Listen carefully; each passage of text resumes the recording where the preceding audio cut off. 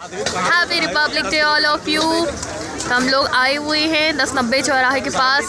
चटोरी गली जहाँ पे आप देख सकते हैं कि रिपब्लिक डे सेलिब्रेट करने के लिए लोग किस तरह से आए हुए हैं। यहाँ पे मोस्टली यंगस्टर्स आते हैं और फैमिलीज़ भी आती है। आप भीड़ देख सकते हैं किस तरह से लोग आए हुए हैं। पूरी एक गली है जहाँ पे लोगों की भीड़ देखने को मिल रही है और इस गली को चटोरी गली इसलिए भी कहते हैं यहाँ पे खाने पीने का सारा आइटम मिलता है सिर्फ़ खाना पीना खाने के शौकीन यहाँ आया करते हैं।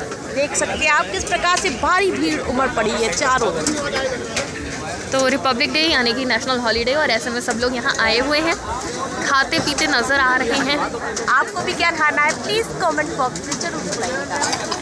तो यहाँ पे मोस्टली चाइनीज़ आपको मिल जाएगा और कुछ हम लोग के सामने ऐसे लोग हैं जो बड़े भूखे हैं और यहाँ आए हुए हैं। वीडियो में बता नहीं सकते। वो और ये चटोरी गली में बहुत टेस्टी फ़ूड स्टॉल्स हैं और यहाँ पे भीड़ आप देख सकते कितने लोग आ रखे हैं, किस तरह से आ रखे हैं।